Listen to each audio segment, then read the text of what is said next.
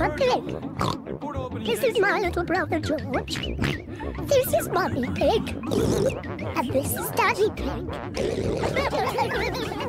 Peppa Pig.